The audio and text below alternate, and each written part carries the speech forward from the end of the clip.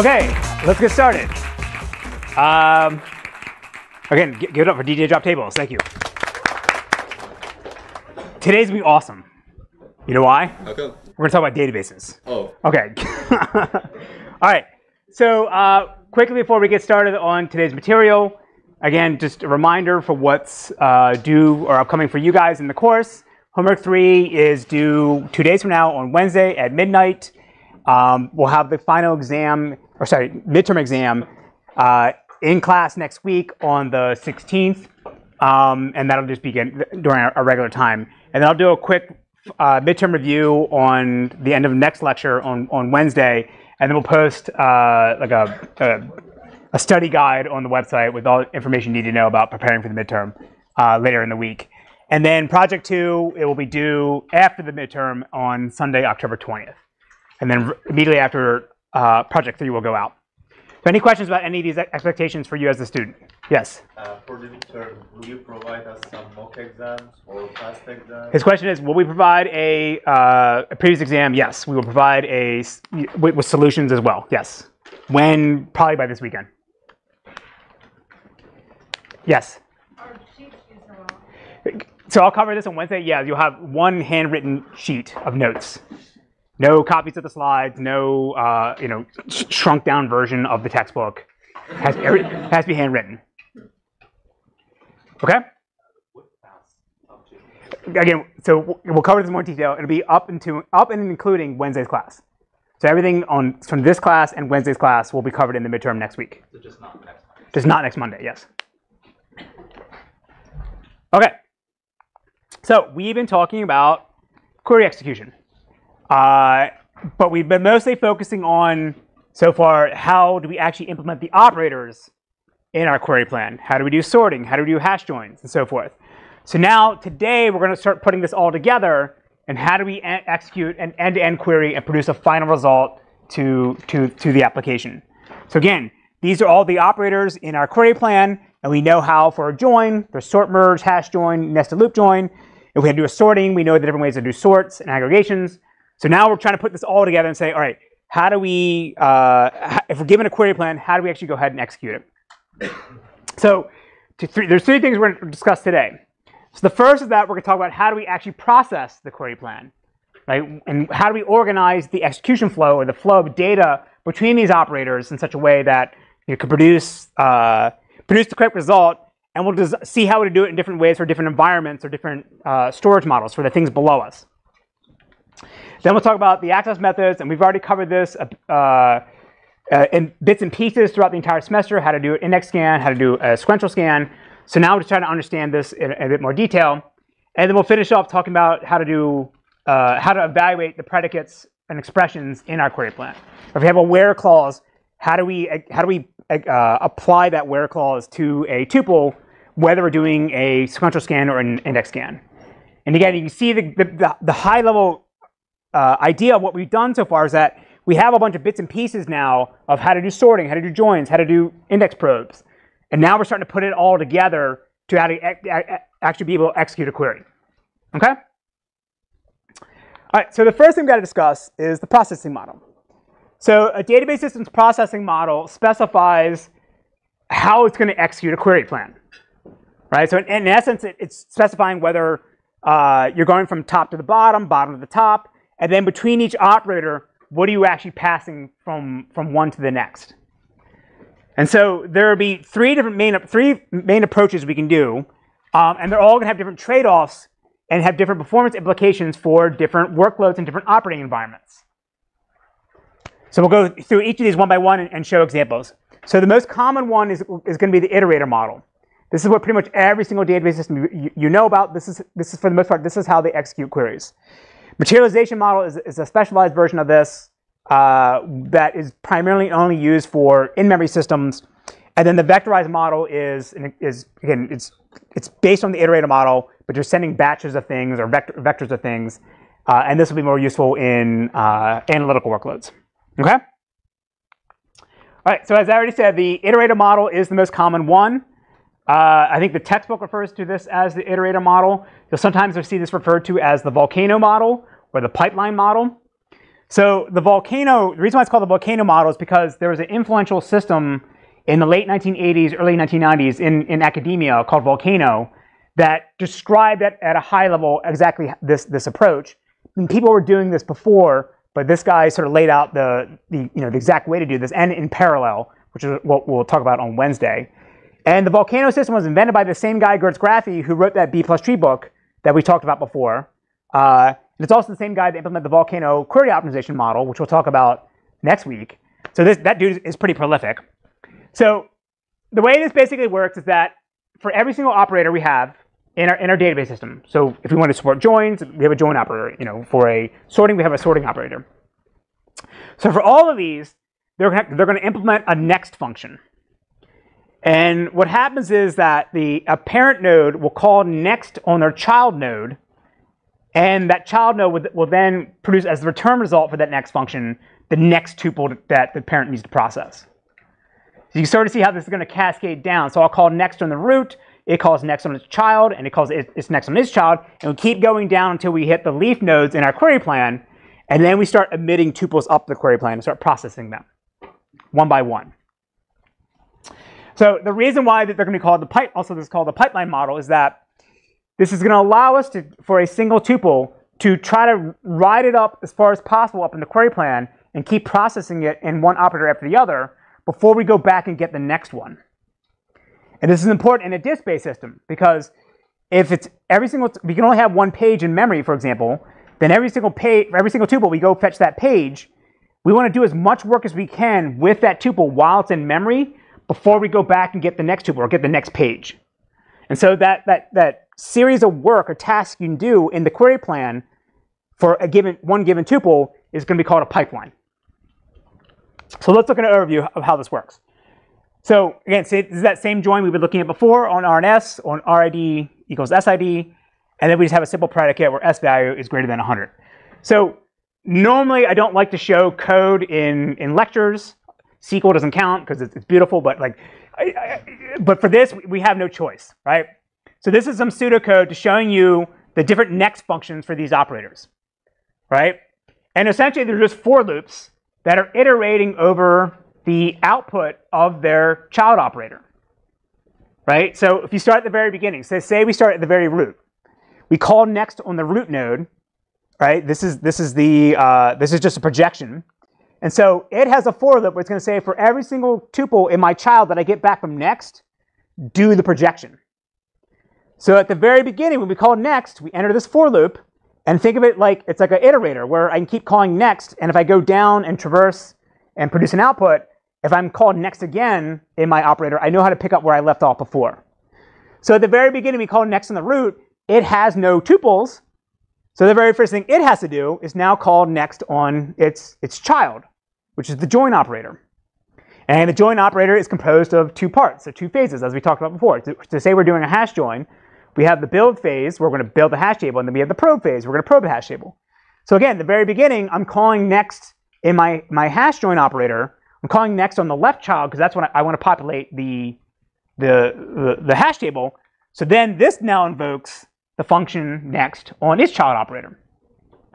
So now you get in the leaf nodes. Now this is, again, this is our access methods. This is how we're accessing, retrieving tuples from either the index or the table. So this just has its own little for loop that's going to iterate over the relation R, and then it's going to emit a tuple up.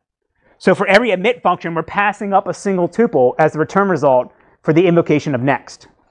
And so we'll keep doing this. The, the, the, the parent operator, the join operator, will keep calling next on its child over and over again. This thing keeps emitting tuples up. Inside the for loop, we're building our hash table. Then at some point, we reach the end, we process all the tuples, and then we just pass up a null pointer and then now the parent knows that I've gotten everything I'm going to get out of my child. I never need to go back to it again. Right, so again, it's called the iterator model because these are just iterators, right, or cursors looping through and getting all the tuples one by one. So after we finish on the left side, now we fall down to the operator on the right side. Same thing, we call next on its child, it goes down here, and then we just emit tuples up one by one. And then now we do the probe, and then for any tuple that matches in our, in our hash table when we're doing the join, we emit that up to the parent. So is this clear? So the reason why, again, why it's called a pipeline model sometimes is that, say on the right side of the tree, we're back here. We call next on this guy, he calls next on this guy. Now we're going to emit a tuple up to here. So we want to have, since we brought this tuple in memory, we, we want to do as much work as we can to process the query while that tuple is in memory. So rather than calling next and getting the, the next one, we then pass it up here and let us do, do the, the join after we do the filter. And then if it matches, we can then pass it up even farther up the pipeline and send it up to our, our parent, which then can then produce it as, as, as an output tuple. And then only and then we call next all the way back down and we just do this all the way over again. So this sort of series of, of operators we can operate we can process for a single tuple is called a pipeline. And it's just like we talked about before with uh, when doing joins. When we bring something in memory, we, we want to do as much work as possible while it's in memory before we go off to the next thing. Because the disk IOs are so expensive for us. So again, the iterator model is the most common one. It's used in pretty much every single database system you can think of. They're using the, the, the iterator model. Um, and the reason why you do this is because it's sort of a, a, from a human standpoint, it's, it's, it's easy to reason about the, the, the, the program flow. It's easy to reason about what's going to be in memory versus not in memory. All right, so again, this is what pretty much every, everyone implements. So now, some, two, some operators cannot are, are not going to be able to allow us to do pipelining all the way up. So these would be called pipeline breakers. So these are the operators that require us to get more data from our children before we can go on to do the next thing. So my join example here was a perfect choice, right? So if I'm on the if I'm on the left side, right, I go get a tuple from this guy, I have to build a hash table. I can't process it up further in the tree because I don't know whether it's going to match with anything on the left side. So this, this would be called a pipeline breaker within this pipeline here. So I, I do the, the, the scan, I build my hash table, and now I got to go back and get the next thing because I can't continue up the tree with it. So you see the same thing for order bys or subqueries. Anything that requires you to have more, more tuples before moving up is, is a pipeline breaker. And they're unavoidable, right? You can't not, there's no way to get around that. The other, other nice thing about the iterator model is that output control, like limit clauses, are super easy to do because now you can then say in the parent, well, I only want 10 tuples, so if I call next 10 times and I get back 10 tuples, I'm done. Right? I don't need to go keep calling it again. So output control is, is works works great with this as well. Parallel, parallel queries also works really well, uh, and we'll cover that next class of how to run you know these operators on, on different threads at the same time or different machines at the same time. Okay. The, the next approach is the materialization model. And the idea here is that instead of having a next function that spits out a single tuple, each operator dumps out all the tuples anytime it's invoked. Like all the tuples it's ever going to actually uh, to, to, to emit, it comes out all at once. Right? You don't keep going back and calling next, next, next, next, right?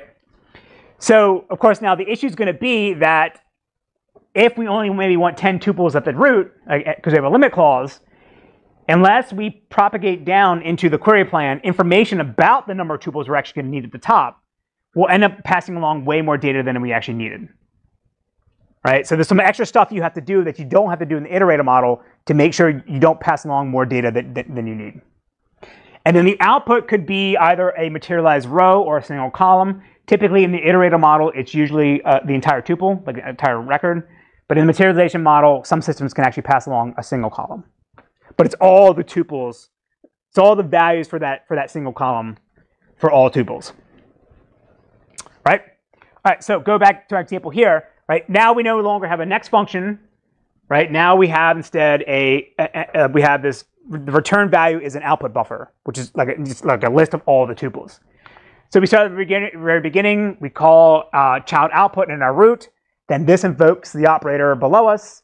Same thing as before. We go down and get all the tuples on the left side to build our hash table, and the result is again all the tuples. We take then in our for loop process everything, build our hash table, then go down the right side and percolate forward uh, the, the data that, that we need going up right? And, and it's all the tuples. Yes. What's that? What is child? Yeah, there is a child, there is life, there is a right. So like, like it's a tree, right? This is the parent. This is this child. And you either have one on the left side or the right side, or just one. So in the module one, middle child. And the what one? Sorry, the, the middle one. In the module one, module. What? First one, middle. Oh, this? Yeah, yeah. Here we said there is a child. So middle uh, in, in this graph, Yes. in the graph on the right, which part is the The join, right? It's a tree. Okay. So I mean, the, the child means this join or. Uh, So in this in, in this example, right? This is the projection operator. It has one child. It's the join operator.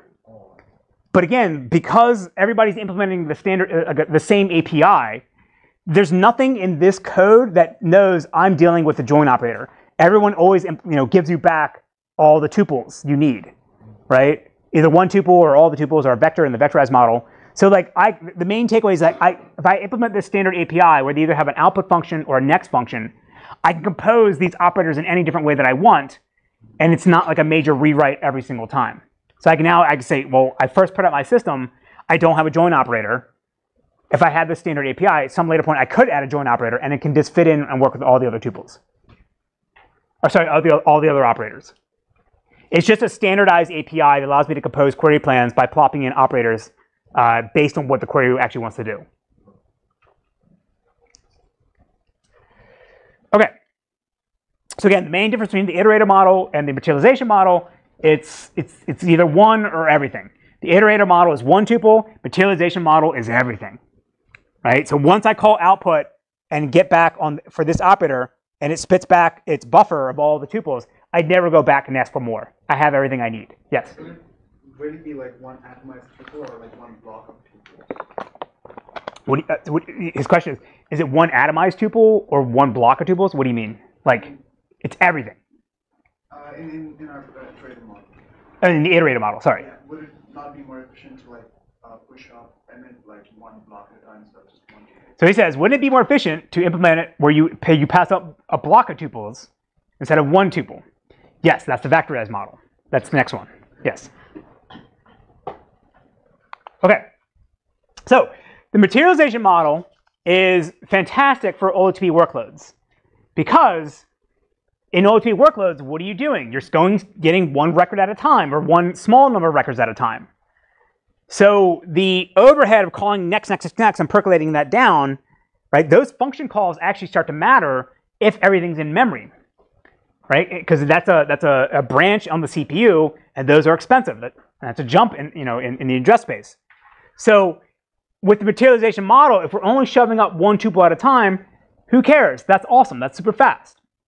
Um, so this is actually how we implemented it in VoltDB. VoltDB is based on a system I helped build in grad school called HStore. HStore uses the, the material, materialization model. And VoltDB, as far as I know, still uses the same thing. Because it's an in-memory database designed for really fast transactions. It doesn't do analytics well. Right? So this is, this is fantastic for this. MonetDB is a in-memory column store system uh, out, of, uh, out of the Netherlands. It is an awesome system too, it's not for analytics. Sorry, it's not for transactions. It's for analytics. I don't know why they did this approach, but they do. Uh, and I has a bunch of other problems uh, that we, we, we don't want to get into. But I think this is a bad idea for this. I think this is the right choice for for VoltDB, right? Because again, if I'm scanning a billion tuples and unless my filter is super uh, selective, I could be shoving up a billion tuples from one operator to the next, only to find up above my query plan that I didn't need a billion tuples. I only needed like you know maybe 10% of that. So you end up moving a lot more data than you actually need with this with this approach. All right, so now the his suggestion, which is, is what we're talking about here, is that instead of having for every single next invocation, I pass along a, a batch of tuples or a vector of tuples instead of a single tuple. Wouldn't that be more efficient? Yes. So this is what the vectorization model does. So again, for every invocation of next, we get back a batch of tuples instead of a single tuple. And then now we're going to design our system such that the inner loops, the sort of kernels of these operator implementations, they're going to be rewritten or designed to operate on a vector of tuples rather than a uh, rather than a single tuple. And so the size of the batch that you're going to spit out for every single invocation of next can depend on what the hardware looks like. So that can be based also like on what the what the, the, the actual storage devices are, how fast they are versus sequential versus I/O, but it also can vary on what your CPUs look like. So we're not going to get into this here because we didn't. We said in this class we weren't going to worry about CPU registers and cache lines. But if everything fits in memory, uh, on modern CPUs, there's instructions that allow you to do vectorized execution or vectorized operators on a chunk of data at a time. Like this is called SIMD if you're taking 418 or what are the parallel class, 618, 418.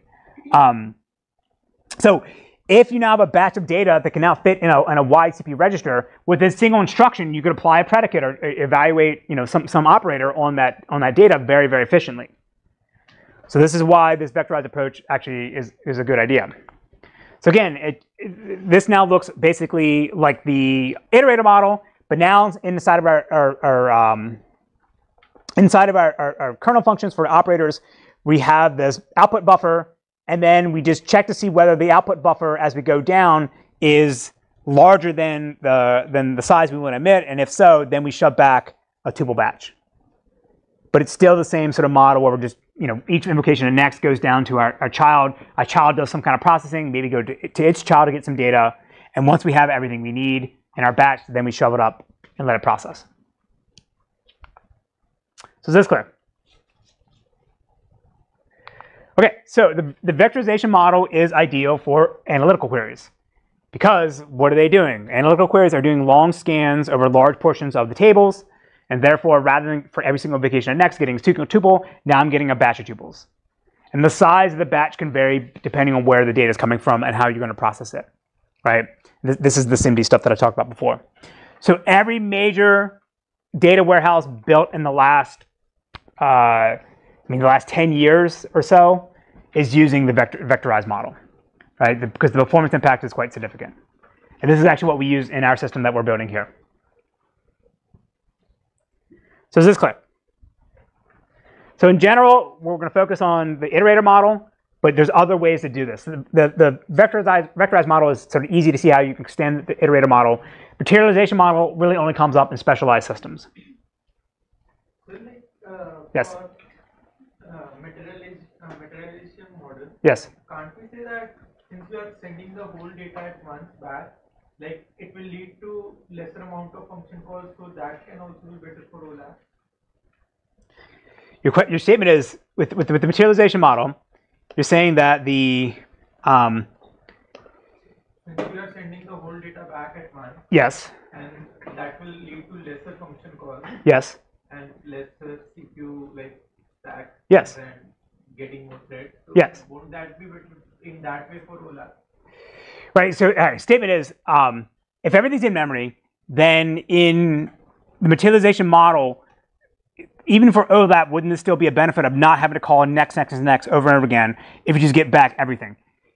Yes, but if you're reading large amounts of data and you're not able to push down the, the predicates, uh, if your predicates aren't selective enough, meaning the, the, the amount of data you're outputting this is large, like my, my table is, is like 100 gigabytes, and I'm, now I'm shoving up, you know, 90 gigabytes of data.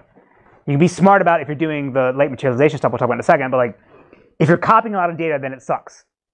But in the vectorization model, like if you are doing next next again and it is going to different sections of the disk every time. All right, so we're, we're mixing terms. All right, so or mi- mixing environments. I'm saying that this works for in-memory systems. I think it, this is not good for disk-based systems, right?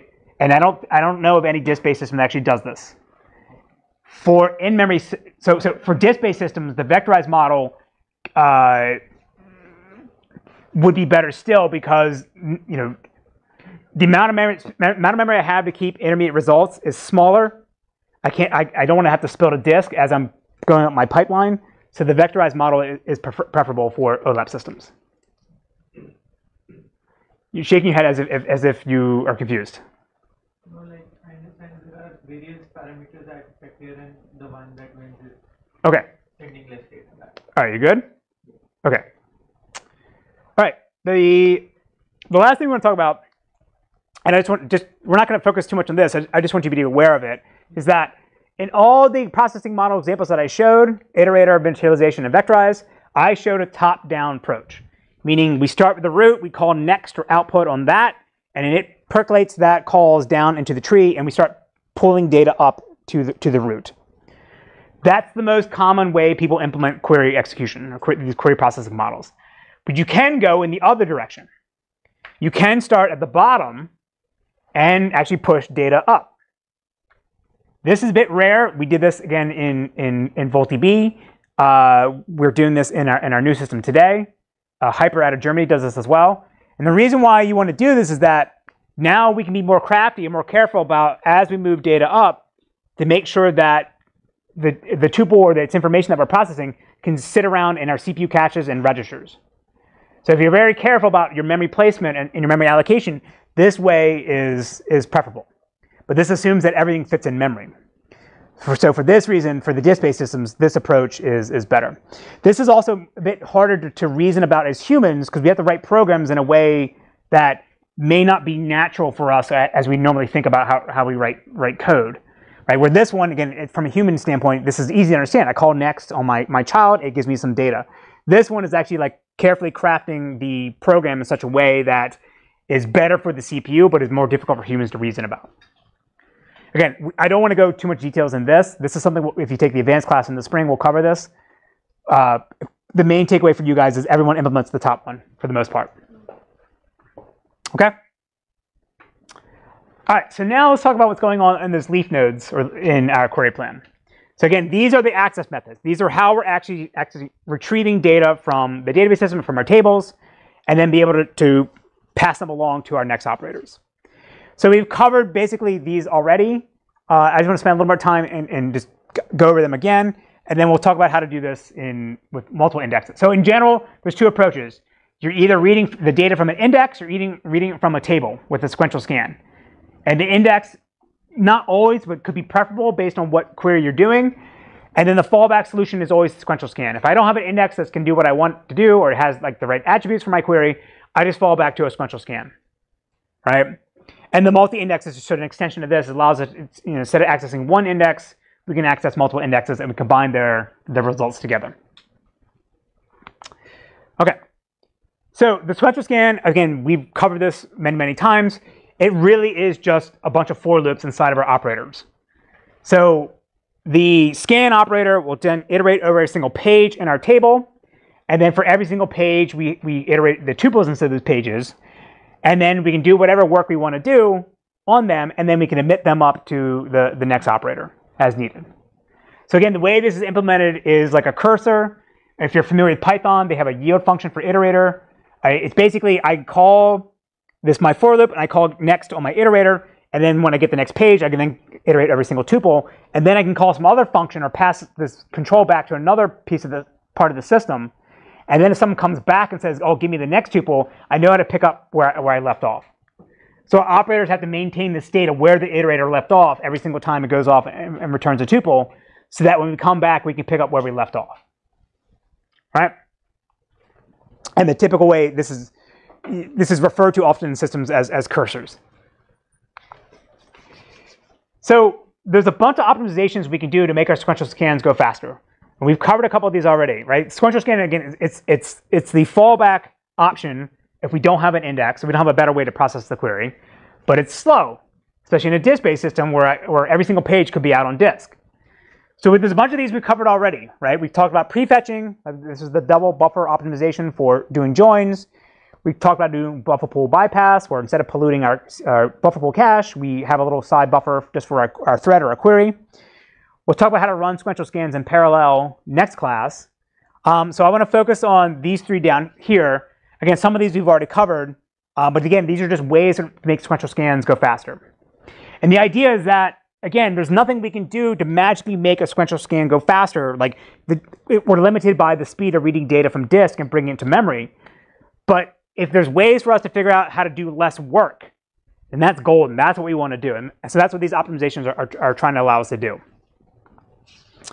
So zone maps are actually what he brought up a few lectures before about pre-computing some information about pages to allow us to figure out whether we actually need to access them or not.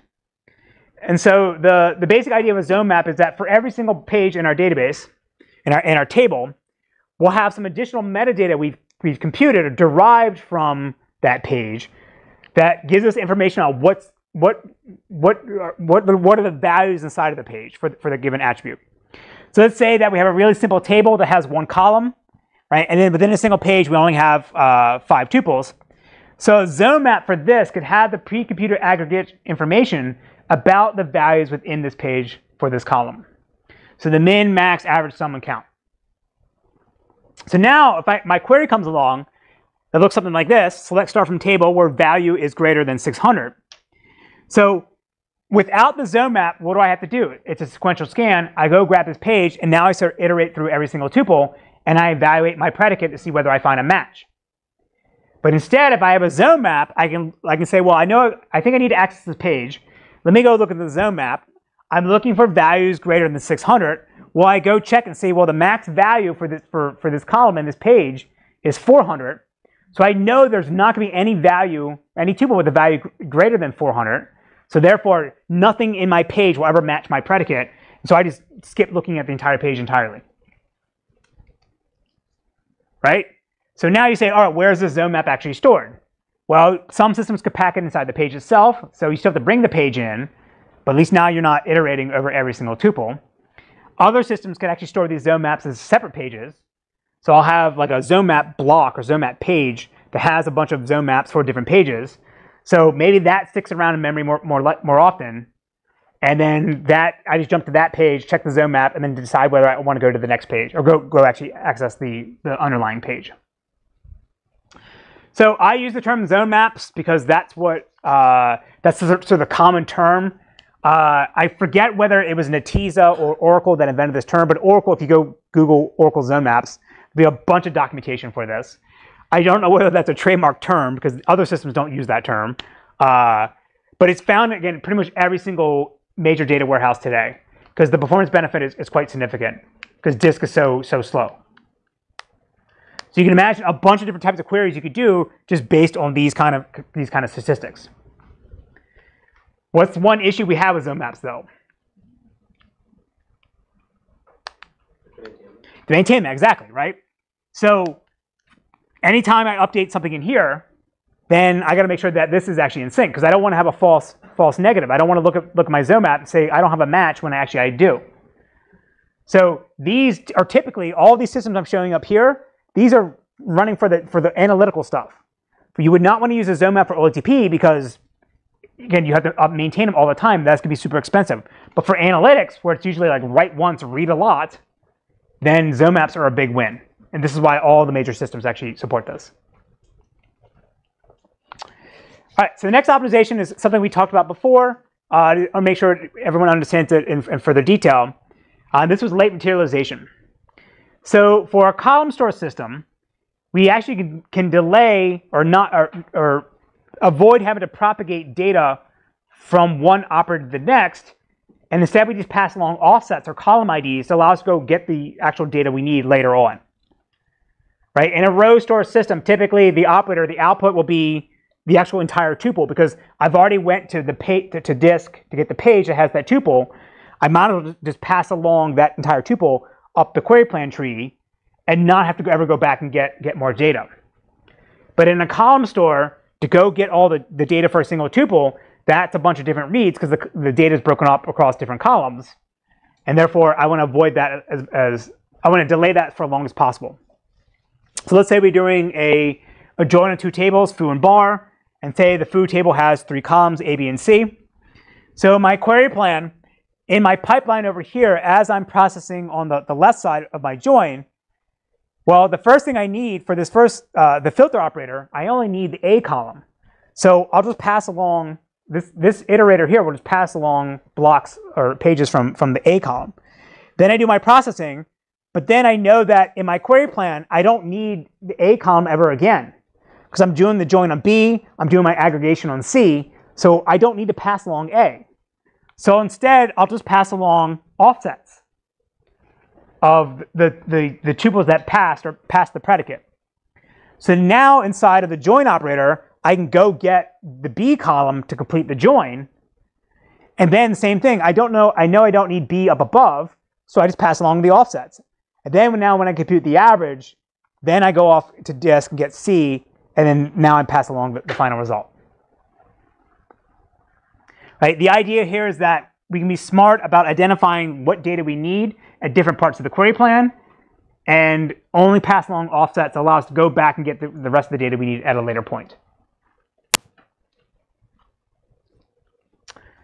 All right. The last thing to talk about is heap clustering or, or clustered indexes. Again, we've already talked about this before. This is just allowing us to uh, scan along the leaf nodes of an index and go fetch the data in, in just sequential order uh, because we know the tuples are going to be ordered in our, in our pages in the same way that they're ordered in our, in our index, right? So th th there's not much else to say about this. This one we, we've covered already. So let's talk about now how we're going to do an index scan. So the for the basic idea of an index scan is that we want to be able to identify what index we have on our table that is going to allow us to quickly find the data that we need and, and limit the amount of useless work we have to do or wasted work we have to do. So again, it's all about reducing the, the selectivity of the data that we're processing so that we're passing along less data from one operator to the next.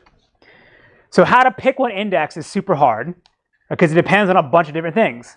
It depends on what attributes we have in our index, what attributes we're referencing in our query, depends on what the values of those attributes actually look like, whether they're super selective for our query or not selective, depends on what our predicates look like. Are they less than, greater than, equals to, not equals to? That determines what, whether we can use the index. And then of course, it then depends on whether it's a unique index or a non-unique index. So I'm going to go through a really high level example of how we pick an index, but we'll go into this way more detail next week because this is what the query optimizer does for us right? I have a select statement. I don't specify what index I want to use. I want the optimizer inside the database system to say, oh, these are my choices for my indexes. Here's the best one based on what, what your query is trying to do. So again, we'll cover this in more detail uh, in, next week. But let's just look through a really simple example.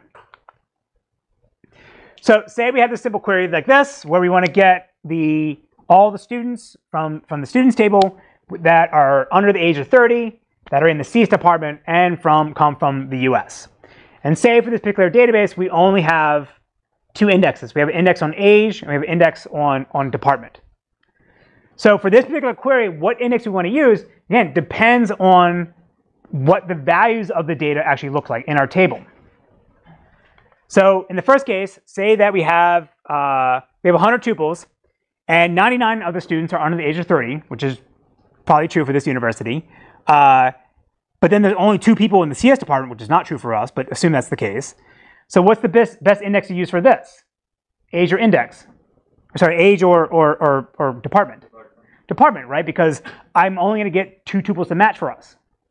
If I go with this, if I go for the, the, the age one, then my index scan is essentially useless because I'm just, I'm just going to find all the, the records I would have found anyway through a sequential scan and now I, I paid the penalty of traversing the index when I didn't need to.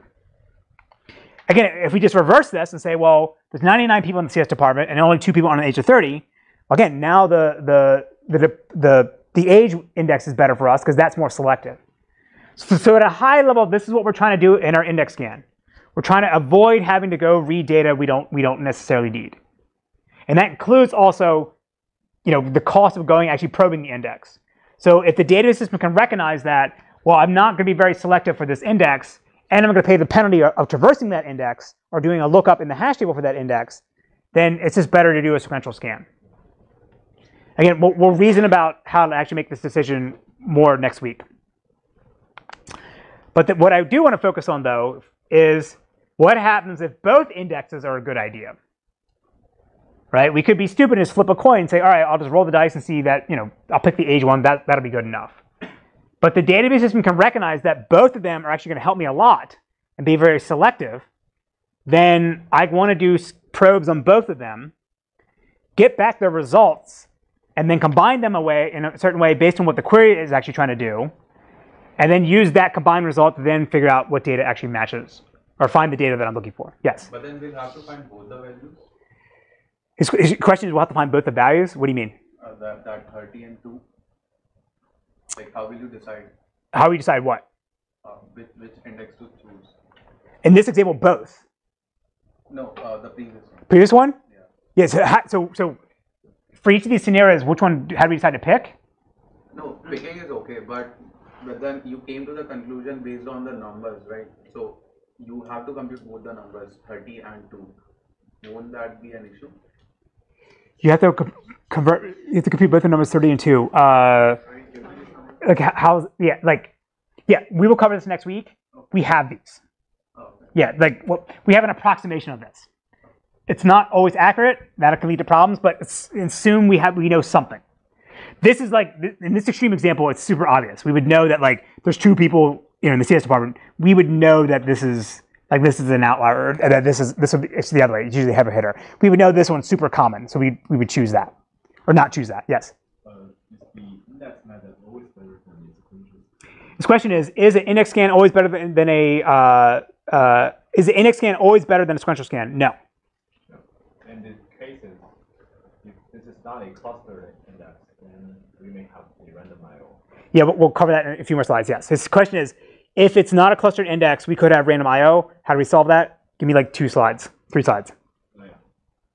Yes. So in this case, two people out of 100 are in the CS department. Yes. Then we still have to use the CS, I, I- mean the department index 100 times. Like we still have to. All right. So, all right, so his question is: In this case here, uh, would I have to probe the index hundred times? Yeah, for each of. No, because it's like I do. I like. in my- I don't have the query plan here. Yeah. So in think think of my my my leaf nodes of my query plan for the, for this query. I called next, right at the leaf node to access the actual table. Well, I'm accessing it through an index, and the index is going to do probe now to find all the the students in the CS department, and it's going to find it's if it's a B plus tree, it would find the the the left side in a leaf node where where all the students in the CS department begin. I emit the first tuple I find. That goes up to my to my parent. The parent comes back and calls next again. Now my iterator jumps to the next one in the leaf node. That's another student in the CS department. Emit that up. Come back again. Now I, I iterate to the next one. Oh, now it's in you know the biology department. That's not doesn't match my predicate. I return null. So I probe the index once and I scan along the leaf nodes till I find everything I'm looking for. Right? Now his question is his question is is a index scan always preferable to this the a sequential scan? No, because like if I'm matching everyone, like in the case of 99 people in the CS department, now I'm paying the penalty to traverse down the index. That's just wasted I/O or wa- wasted lookups. It would have been better just to jump to the beginning of the table and scan it down sequentially. So where that cutoff point, like this in this case is obvious. 99% of the tuples match. Sequential scan is the right way to go. Where that threshold is de- depends on the cost model inside the query optimizer inside the database system, and that's going to vary between different systems. And so Monday next week, I always feel I always feel like I'm always saying like, all right, next class or this two more classes we'll discuss this, and uh, and it, I'm trying to focus on just one idea. But next week we will show how do we derive this information and then use it to make it to make an approximation about which one is better. So not only whether which index is the best one to use, but whether a sequential scan will still be better. We'll cover that next week. For now, we're focusing on how do we, what you know, what does this execution actually look like?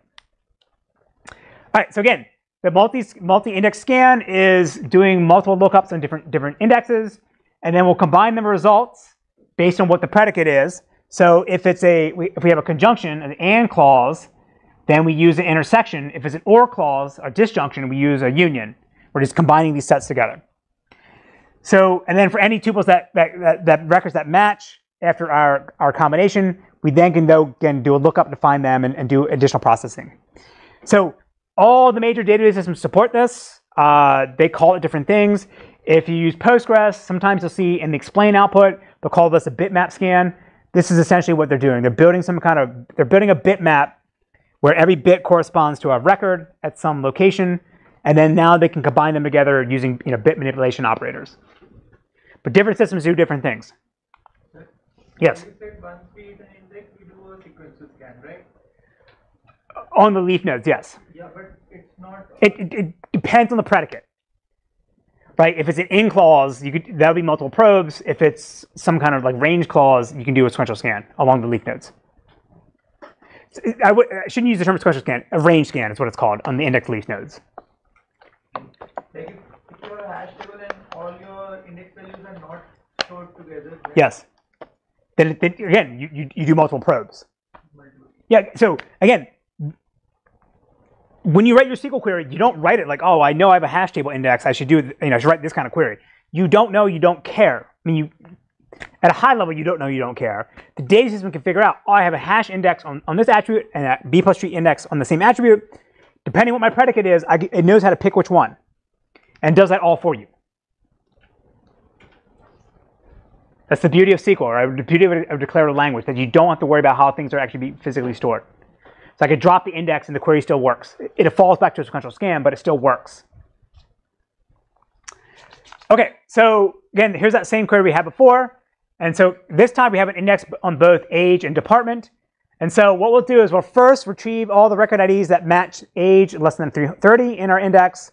Then we'll do the same thing. It could be in a different thread at the same time. It could be the same thread. It doesn't matter.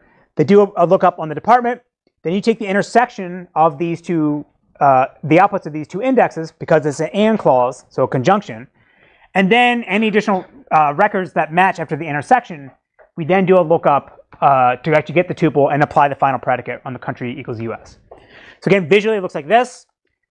Probe, uh, do a lookup on age equal, less than 30 on this one, department equals CS on this one, and then whatever ones are in the middle are then the ones we know that match both of these indexes, and therefore that, those are the ones we actually want to look because that would match our, our conjunction, and then we go retrieve them and check whether country equals US.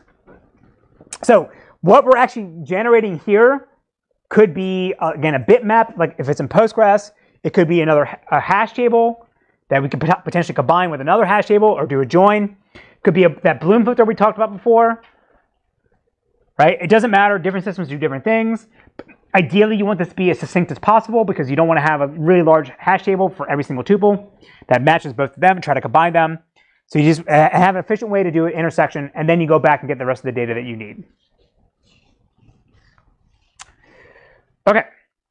The last thing I want to talk about for access methods is what he was asking about before, and I think this has come up uh, a couple times in the, in the semester, is if I have an unclustered index and I'm scanning along the leaf nodes, I'm jumping around potentially at random to different record IDs uh, at different pages because the, the tuples are not sorted the same way the leaf nodes are sorted in the, in the index. So in worst case scenario, say I only have one, you know, one buffer page where I can store something in, you know, a single page in my buffer pool, then every single time as I'm scanning along the, the leaf nodes, I'm, I'm reading a page, if the page I'm looking at is not the same as the last one I just retrieved, then that's another disk IO to go fetch this. But depending on what my query is, if the output does not need to be sorted on the ID that the, the, the index is based on, then before I actually do any lookups on the data, I scan along, get all the record IDs, then I sort them based on their page IDs. And so now for every single page, they're grouped together and it's one IO to get the one page. I process all the tuples that are inside that page before I move on to the next one. All right, this is the beauty of the relational model. The relational model is unordered. So we're allowed to do this any way we want. It doesn't matter that the, you know, that the output could be different from one day to the next. Because you can't, you're not in your application. If you cared about things being ordered a certain way, you would have to write a specific order by clause. So one day our tuples, you know, uh, two tuples that may be uh, close together in, in, the, in the sort order might exist on the same page. And the next day, after some compaction or some garbage collection process, they're now on different pages. So I could end up getting a different result for the same query, and that's okay. We're allowed to do that. So there's a bunch of stuff we can do as we're processing data that could change the result, change the, doesn't change the high level correctness, but could change the, the exact output ordering. All right, so any questions about this? Yes? So then, after like doing that, do you just have to sort of walk through like the beginning portion of the page? Your question is, for, like, after you do the sorting, do you have to walk through? Or based on a page and then you'll have to go to a specific part of the page, find the tuples? So it's like you sort based on page. So say I, I, there's two tuples I need in page 101. I, I know what page they're in. They're in page 101. I know their slot number. So then as, as, I, as I bring the page in, I jump to slot one, I jump to slot five, and I go find the tuples that I want. you're not iterating, you're not scanning through because you're not looking at every single tuple. You're only looking for the tuples that this thing matched up here. Yeah. Yes. Um, we mentioned about how to maintain the cluster index because like if we have a cluster index and we insert some data, then we have to review. Correct. So his question, I, I, and I should have covered this last week. How do you actually maintain a clustered index? Because if, say, this this page is full, and I insert something and the sort order fits in here, do I, does that mean I have to like then reshuffle everything? Yes, unless you store everything in like in MySQL or in InnoDB. The, the the pages, the leaf nodes themselves are the where the tuples are actually being stored. So as you do splits and merges, and you're moving key values, you know, from one page to the next, that's that's the same thing. If there's a disconnect, if it's an index organized, if it's sorry, if it's a clustered index that's not connected exactly to the underlying data pages, yes, there's a bunch. You have to do a bunch of extra work. This is why most systems that's index organized or cluster indexes are not the default. Yes. Sort limit 10, then this approach won't make much sense. It, so his question is, if it's like sort limit 10, like if there's an order by with a limit clause, you can't do this. Correct. Yes. But again, the data system knows this. We have rules in our query optimizer to recognize that you know, like, oh, so that would be that, that's an example of a pipeline breaker. To do an order by, I have to have I have to see all the tuples to know what the, the global sort order is. I, and I can't go now to the limit clause up above me in my query plan until I finish that sorting. Yes. Can you explain that again, why you can't do that? Okay, yeah, so let's, I should have an example. Let's, let's just use this, the, go back to the iterator model. Okay, so pretend that this, instead of this being a, uh, a, a, projection, it's an order by. And then there's, there's a, actually, make this to be the order by, make this one above it be the limit. So the order by is a pipeline breaker. I don't know the complete sort order of all the, the records until I see all the records. Because if I try to start sorting them just by seeing partial, you know, you know, I see, you know, I see 9, 10, 11, I sort them, but then I don't see, you know, value 1 because I haven't called next yet, now my sort ordering is incorrect. So a pipeline breaker says you cannot proceed up in the query plan until you get all the tuples you need. So the order by here would be a pipeline breaker, and then if I have an order by with a limit clause, if I want to pick up the top 10 tuples after they're being sorted, I can't do that top 10 until I have everything ordered. Make sense? So order by, subqueries, joins, uh, limit clauses with order bys would, be a pipeline breaker. Um, I'm trying to think of other examples. Mins, maxes, things like that. How does that relate to index scan? So how does it relate to an index scan? So the index scans are down here, right? It's just, you know, for this, for T and R. I'm not saying what R is, how what this for loop actually is. It could be a sequential scan, it could be an index scan. So if it's a if it's a sequential scan, it's unordered. So I'd have to have my order by calls do up above, do a bunch of extra stuff. But if I am doing an index scan and my my pro my range scan and my index and it's and the sort order of the index is the same as my order by clause up above, then I know these tuples are going to come out in sorted order, so I don't need to do my order by up above.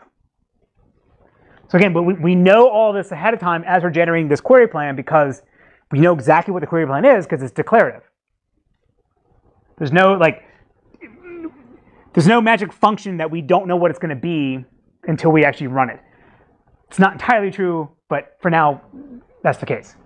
Okay. Okay, cool.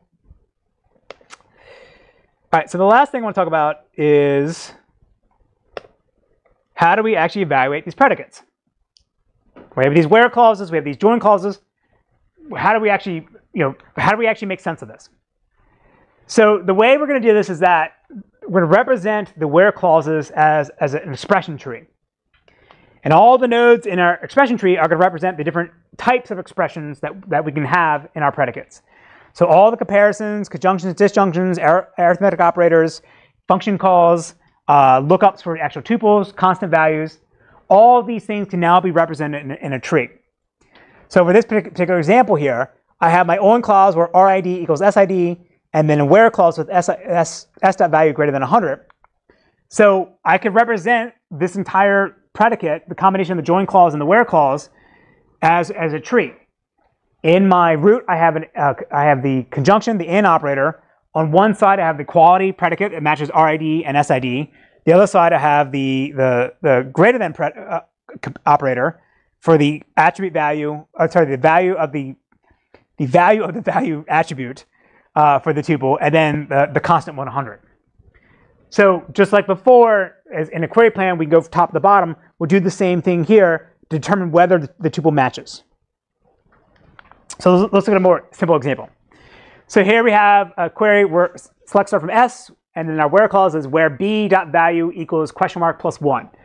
So we haven't talked about, I don't think we talked about prepared statements yet, but prepared statements are like a way to, to, to declare a, like a query template. Like you, you tell the data system ahead of time, hey, I'm going to execute this query over and over again, and here's a placeholder where you can fill in a value at runtime. So you, you then you invoke this query almost like a function, and you'll pass in a value that gets substituted at runtime.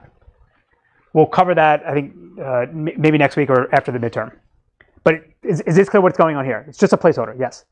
Yeah, but why then I use plus one? Why can you do that? Yeah, no, like what's the point of it? So like I'll replace the question mark, right? Yes. And then I say, okay, add plus one. Yes. why not just have plus one be done on the client side? Exactly. Sure. So that is a uh, that's a philosophical question. no. So like, think about this. So I always have to add plus one, right? So let's say that I have my I have a big application. I have my I have the desktop version, I have a, a web-based version, and I have a phone application. And they're all going to use this query. That means I need, if I always make sure I have to call plus one, I have to make sure that on all three different programs, they call plus one. But if that's logic that should always be that I want to hide away from the application, then I can write it be in my in my query, and then all of them get to use that. The plus one is like a trivial example, but think of other things like uh, you know more, more, more complex operations. This is just to play. This is just to show you what, what's going to happen in the tree. Yes, we will. So we'll call that. We'll have a whole lecture called server-side program logic, server-side execution. We'll cover that after the midterm. But why? And it's a trade-off though, because now we have like there's the logic for our application is now split between the database system and the application code itself. And this is why I'm saying it's philosophical. Some people say, oh, the database system should know everything, and because I, I, can reuse that logic across all different applications. Other people say that's a bad idea because now, like as a programmer, I'm writing some you know crappy Python code, and there's some, the database system is doing a bunch of stuff that I don't know what it's doing. So it's better for me to put everything in my application code because the pro- programmer can see that. It's a long, it's a long answer for why plus one is in here, but uh, trust me, it, it, there's, there's some useful there's some usefulness to this. Okay. So the expression for this, the where clause, where b dot value equals question mark plus one, would look like a tree like this. So in order to invoke and evaluate this expression, we need to have some contextual information about what's going on in our query as we invoke this expression. So you would say, well, what's the current tuple we're processing?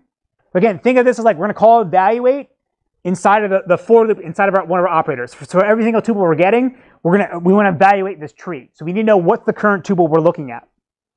We also need to know what our input parameters are for this query. Right, so this is what the client passed us when they want to invoke this query to, to, to substitute the question mark. So in this case here, it's 999. And then we need some information about the schema of the tuple that we're processing. So we just know like, you know, here's the, here's the record. The first attribute is called ID and it's integer. The second one is called value and it's also integer. Right? It's just more context about what the tuple actually looks like. So the way this is going to work is that we're going to start at the root. We call evaluate and then we just go down in, in, in depth first manner to each of our leaf nodes and start moving, moving values up. So we start here, go to the left side, and this is an expression that says go retrieve the, uh, the S value, the, the value attribute from the, the current tuple. So this would then just generate one, 1,000, right? Because the current tuple we're looking at has for the value attribute 1,000. So then now I go back up here and go, again, going depth first search. Oh, shit, sorry. Um, we go down this side, and this says, oh, give me the parameter at offset 0. I look at my context. At offset 0, it's 999. So this thing generates 999. I jump up here. I go down to the other side. It says, give me the constant value of 1. That then you know produces a one. That gets shoved up to here, and now I evaluate 999 plus one. That's a thousand. Then I shove that up here for my equality predicate, and it says, does a thousand equal a thousand? Yes, result is true. So this tuple would match this particular predicate. So is that clear? So this is just we're doing this for every single tuple we, we, we're looking at inside of our inside of our for loop one of our operators. Is this good or bad? Let me rephrase that. Is this fast or slow? He says he says we're doing the plus every single time uh, unnecessarily. Yes. So again, we'll cover this when doing query optimization. But one obvious thing that he pointed out here is this thing is this is also a constant too. 999 is always going to be the same because that was passed into the query. So we could rewrite this and have it be just rewrite this thing just to be a constant value of a thousand. Yes. But you still you know you're still going down the tree. That, that actually sucks. So what I'm describing here, again, is what every single database system, the first time they're implemented, well, this is how they implement their, their expressions. But it's going to be slow, because now if I have a billion tuples, I'm calling that function to evaluate the expression tree and traversing the expression tree a billion times. So the high-end systems don't do this. Right? Any of the super optimized systems don't do this. So instead, what they want to do is almost the same thing as, oops, sorry, just-in-time compilation. So say I have a stupid predicate like this, where one equals one. Now I realize, like again, you, you can optimize this away, where it just always evaluates to true. But assume that you you had a crappy system that was always going, you know, always had this tree and always had to traverse it. What you instead want to do is actually compile exactly the uh, the, the the predicate you want to evaluate for a given tuple right? So now I can write in, in one instruction, constant value one equals constant value one on the CPU, and that's way faster than traversing this tree, doing lookups, you know, to see what kind of expression type I am, figuring out what kind of output I need to copy back, then having these giant switch statements to say, well, what's the operator I'm trying to evaluate? Is it an equal clause? Is it a less than clause? If I can just strip down to be exactly what the, the, the predicate wants to do, that's going to be way faster. So again, this is what the high-end systems do. Postgres 12 just added this. Uh, and, and it's quite limited at this point, but this is, you know, MySQL doesn't do this as far as I know, but like the high-end systems and the better open source systems can do this. And the spoiler again for, for the system we're building here at CMU, not only do we compile down the predicates into simple instructions, we actually compile the entire query plan to be, be, to be just a pipeline of instructions. And then now you no longer, again, you don't have indirection, you don't have jump clauses. It's just sort of like one giant function that executes exactly your query plan. Sort of like, it's like as almost someone wrote the code exactly to execute your query and then compiled it. We can do this on the fly. Okay. So the main takeaway from this is that the same query plan in different systems can be executed in different, multiple ways. And this depends on the environment, whether it's a column store or a row store. Depends on the workload, whether it's a OLAP system or OLTP system. But as I said, the iterator model, the top-down approach is the most common one, and that's you'll see that the most in the wild. In most cases, the data system is going to always prefer to use an index scan over a sequential scan as much as possible. There'll be some in cases where this is not going to actually work out.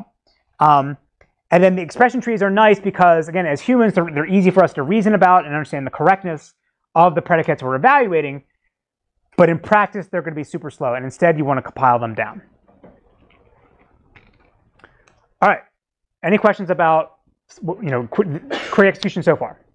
And hopefully you've seen what, what we've done in the semester is that we've talked about again all these different parts of, of the system, how to do the scans, how to build the indexes, how to have a buffer pool, and now we're starting to put all these things together and actually build a full system.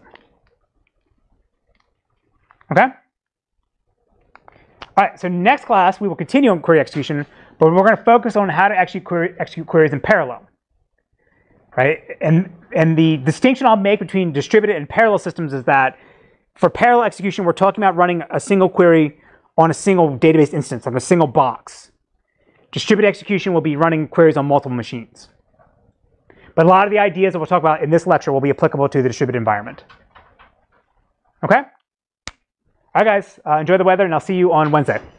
Oh yeah, coming through with crew. Two cent for a case, give me St. In the mix of broken bottles and crushed up cans. Met the in the jam, oh how dry.